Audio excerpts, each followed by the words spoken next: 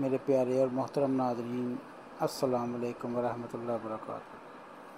آج کا ہمارا ولاگ ڈاکٹر حضرت علامہ محمد اقبال رحمۃ اللہ علیہ کی رہائش گاہ کے موقع پر بنایا گیا ہے۔ اور آپ بھی ہمارے ساتھ اس ولاگ میں رہیے گا اور ہمیں اپنی رائے سے آگاہ کیجیے گا۔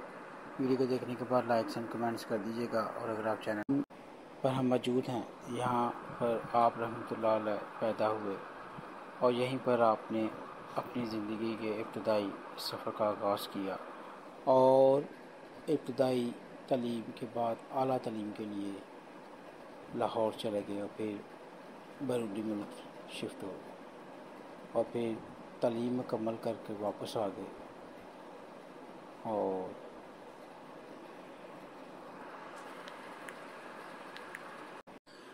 جشن آزادی کے موقع پر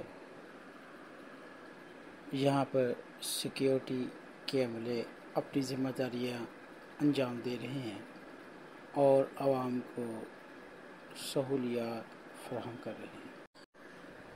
یہ آپ کی رہائش گاہ کا کانفرنس ہال ہے جہاں پر مختلف لوگ بیٹھ کر بکس کو پڑھتے ہیں۔ خوبصورت طریقے سے سجایا گیا ہے۔ اور دو ہزار چوبیس کے موقع پر رہائش گاہ کو بہت ہی خوبصورت طریقے سے سجایا گیا ہے کہ دیکھنے کے قابل ہے اور بہت ہی دلکش نظارہ ہے آنکھوں کو ٹھنڈک مل گئی اپنے رہنما کے گھر آ کر۔ میں جب بھی یہاں پر آتا ہوں تو مجھے بہت سکون محسوس ہوتا ہے کہ ہم اپنے رہنما کے گھر میں آئے ہیں۔ جنہوں نے پاکستان کا خواب دیکھا تھا۔ اور قائد اعظم رحمۃ اللہ علیہ نے اسے تکمیل پر پہنچایا۔ پاکستان زندہ باد۔ میں جب بھی یہاں پر آتا ہوں تو مجھے بہت سکون محسوس ہوتا ہے کہ ہم اپنے رہنما کے گھر میں آئے ہیں، جنہوں نے پاکستان آپ رحمۃ اللہ علیہ کے استعمال کی چیزیں آپ کے رہائش گاہ پر موجود ہیں جن کو آپ دیکھ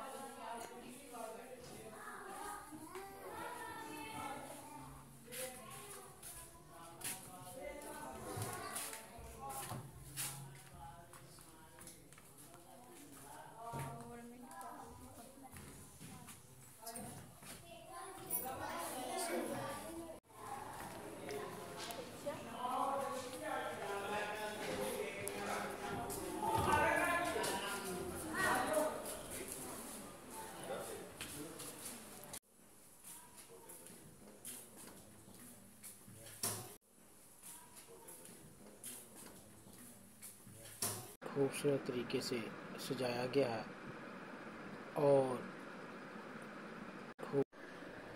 یہ آپ کی رہائش گاہ کا کانفرنس ہال ہے جہاں پر مختلف لوگ بیٹھ کر بکس کو پڑھتے ہیں۔ دو ہزار چوبیس کے موقع پر رہائش گاہ کو بہت ہی خوبصورت طریقے سے سجایا گیا ہے کہ دیکھنے کے قابل ہے اور بہت ہی دلکش نظارہ ہے۔ آنکھوں کو ٹھنڈک مل گئی۔ اپنے رہنما کے گھر آ کر۔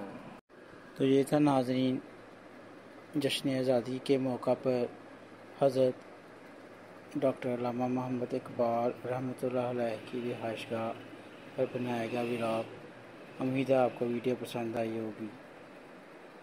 تو آپ ویڈیو کو پسند کرنے کے بعد لائکس اینڈ کمنٹس کر دیجیے گا۔ اور اگر آپ چینل پہ نہیں ہیں تو سبسکرائب کر دیجیے گا۔ اللہ کو خوش رکھے شاد رکھے آباد رکھے۔ اللہ حافظ۔ تو یہ تھا ناظرین۔